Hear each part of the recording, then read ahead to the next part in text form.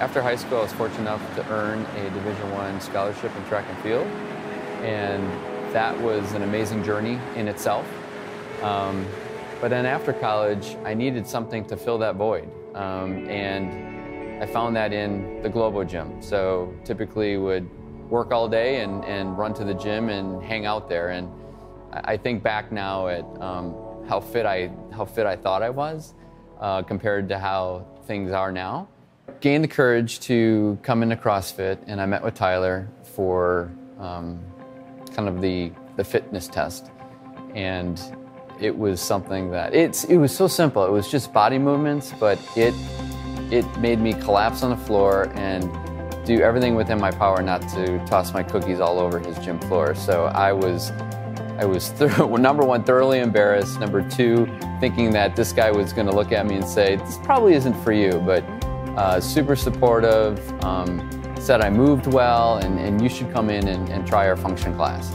Um, I didn't know the difference between function and CrossFit, but I think at that time I enjoyed the fact that it wasn't going to be CrossFit, that I was going to do something else because I really felt CrossFit was beyond me.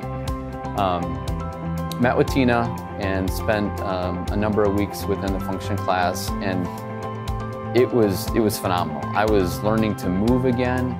I was learning to get flexible, and I was walking out of here just beat um, every every class, function class, and I loved that feeling. It was a sense of accomplishment.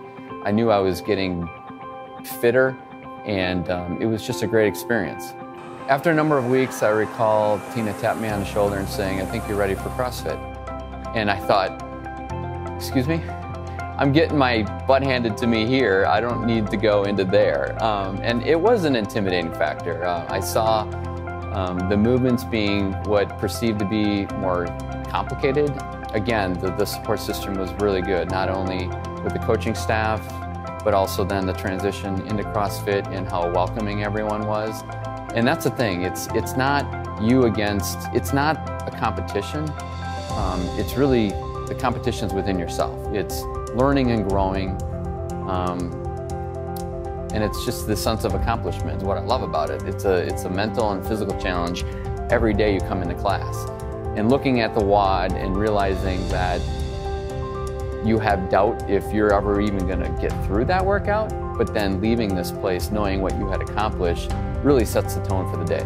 Um, so that's that's what I really enjoy about it. Now on on this um, kind of newfound journey, it's it's there's so much more. There's there's conditioning, there's flexibility, there's the correct way to do a movement, and I think that's what I, I appreciate most about where I am now is because I I know what I'm doing is is in the correct way.